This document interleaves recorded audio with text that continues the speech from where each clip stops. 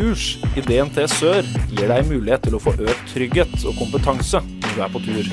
Vi arrangerer kurs for grupper, skoler og bedrifter på bestilling.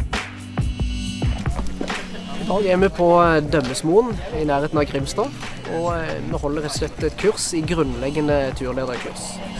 Det som vi tenker som mål for eh, disse kursene, det er primært å lære folk opp som skal lede turer i turistforeningssammenheng, eh, sånn at de blir i stand til å lede grupper trygt og sikkert. Og at deltakerne på tur opplever turlederen som ja, en munter og god person som de òg har trygghet hos. Da er vi opptatt av at de er formelt godkjent gjennom turlederstigen i Turistforeningen. Inntrykket? Nei, det har vært ganske gøy til nå, da. Jeg syns det har vært veldig interessant hittil. En kombinasjon med læring og være ute og ha det gøy. Jeg har vært turleder en del ganger før, og så er det veldig greit å lære meg det. Veldig bra kurs.